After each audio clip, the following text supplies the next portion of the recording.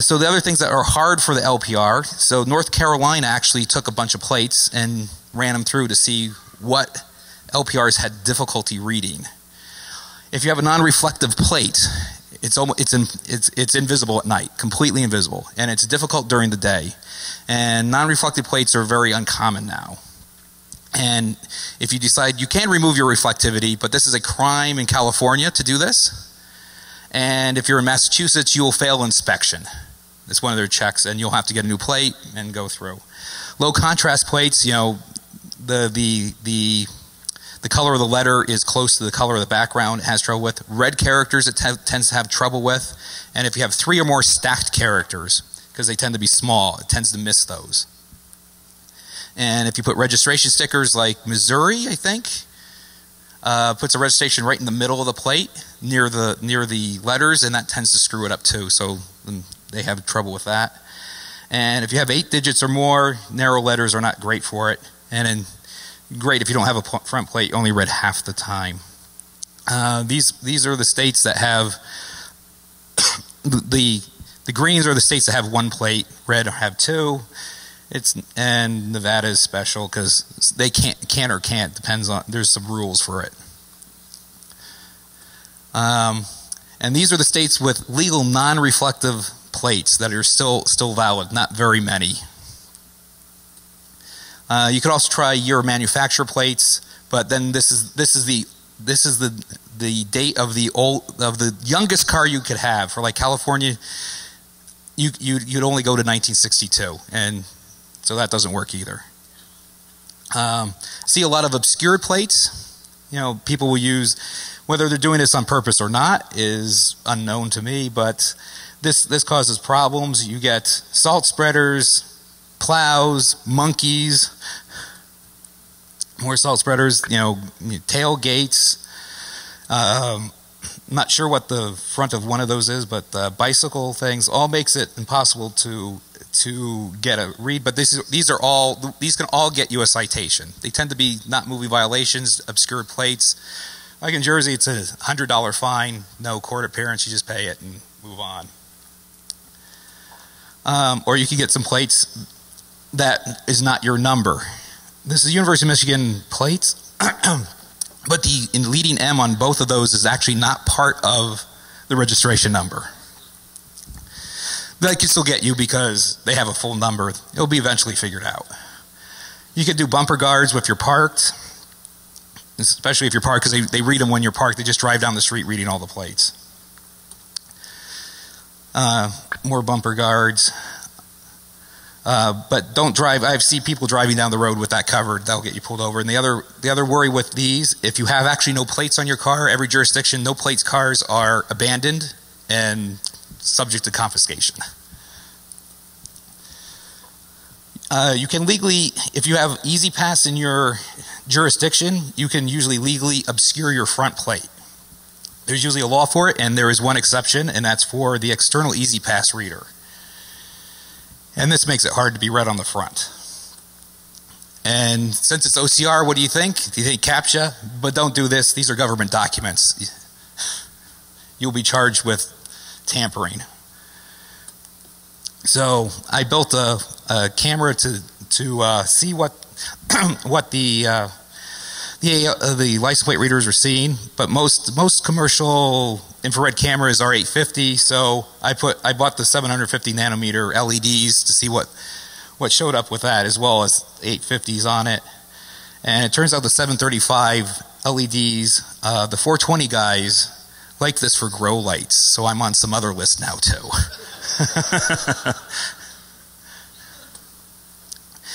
so it's an old license plate, and you can see you can actually buy these things that say that's the bottom one that say, "Hey, no red light camera."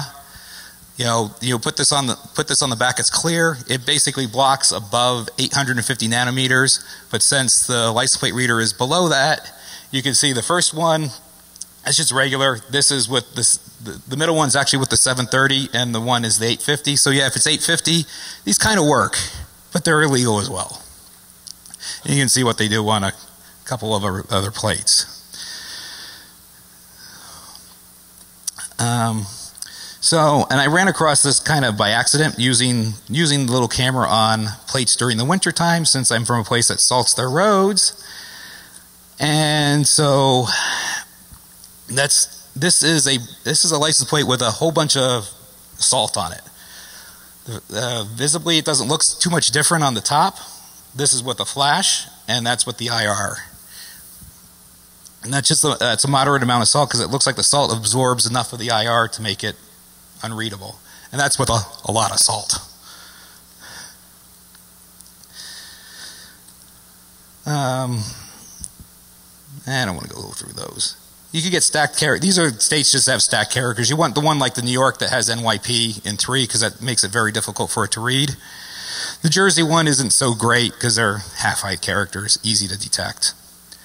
Uh, you could also get special characters like hearts and ampersands that are not part of your plate number, and they tend to get OCR'd. And sometimes they are, and sometimes they aren't. And only a few states have those. Um, or you could just change your plates as much as possible.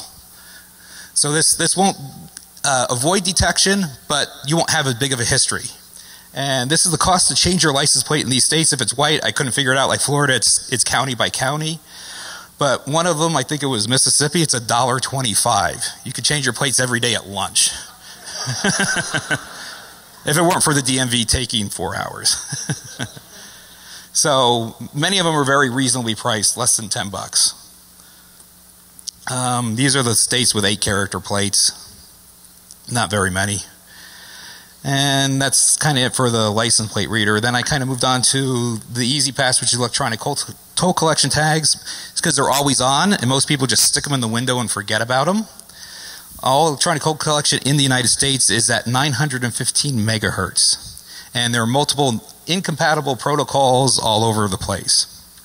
And these are a couple of them. But it's basically RFID with batteries, and some of them don't have them anymore. It's, and so I took mine apart. Has a nice battery in it. Put a switch on it and figured out the, the current draw when it was being read and when it was being not. You shouldn't do this because it's not your property. You have to return these.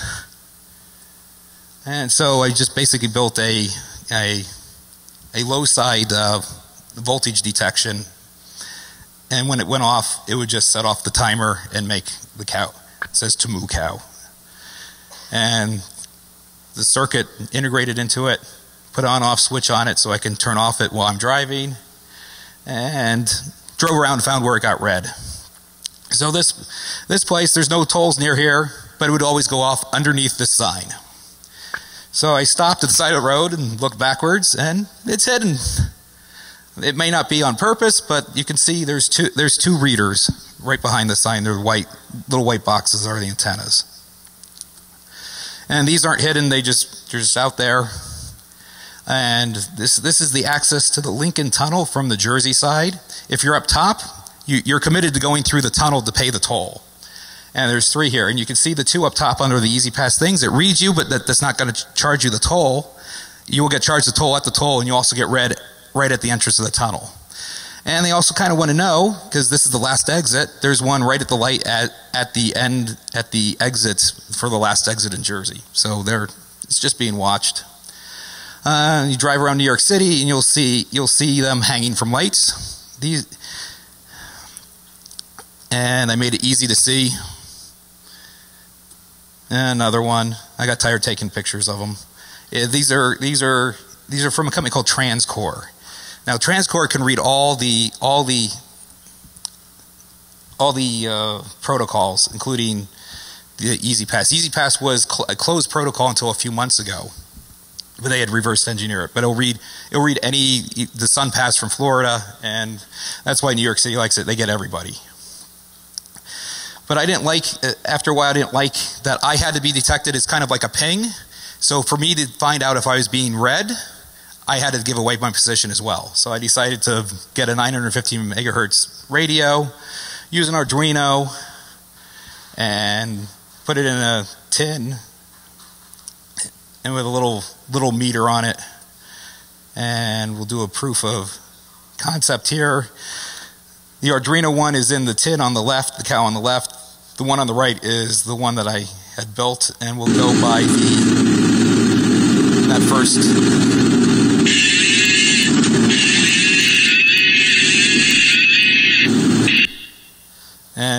Right under the sign, as as predicted, it gets read. And just uh, we'll go through the link, we'll go through the Holland Tunnel here. Well, maybe we'll do that again to go through to show that a real E-ZPass works works just fine.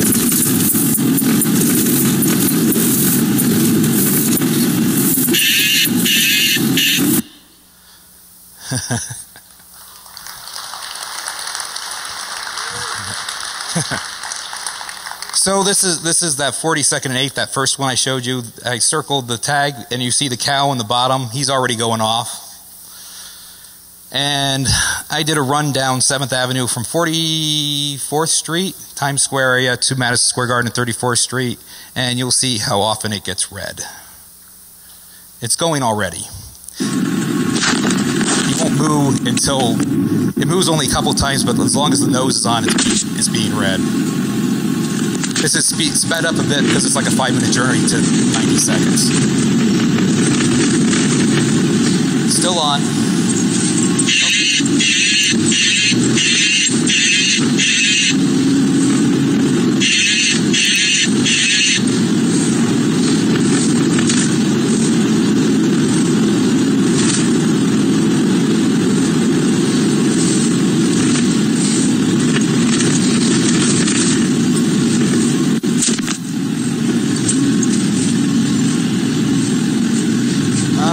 So. it went off a bit. Oh, it's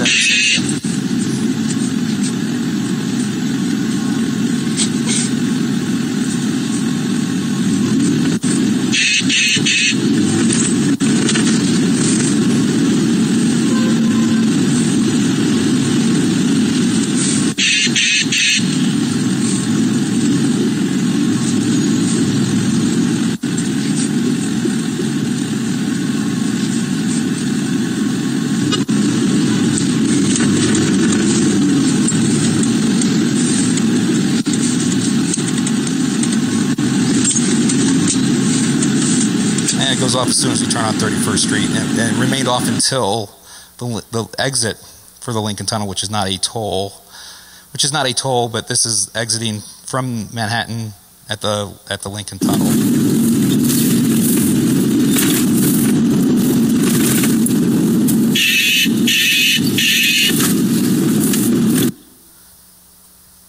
Um, the New York State Department of Transportation absolutely admits that yes, they do read your E-ZPass, but I didn't expect it as much at every intersection. Um, so they they say they do this for travel times, but I've never seen travel times in the middle of Manhattan.